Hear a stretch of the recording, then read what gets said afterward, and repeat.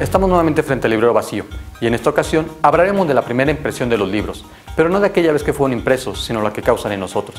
Comparar los libros con las personas es muy romántico y pensar que deben causarnos una buena primera impresión suena superficial, pero así es. La lectura es una práctica que debe hacernos sentir cómodos. Por lo tanto, el libro como outfit importa. Entre lectores dicta una premisa. No juzgues un libro por su portada, ignorémosla. El primer contacto que establecemos con un libro es a través de la mirada, ese juego de seducción entre portada y espectador. Sin embargo, no es lo único. Al igual que con la gente, el interior cuenta más, y por ello sugiero tres cosas para seleccionar su primer libro. Lo primero es dejarnos guiar por el tamaño.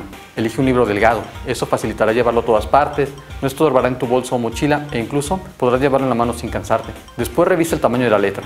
Abre el libro y si a golpe de vista la página se ve con pocos renglones y fuente medianamente grande, es una buena opción incluso mejor si tiene dibujitos.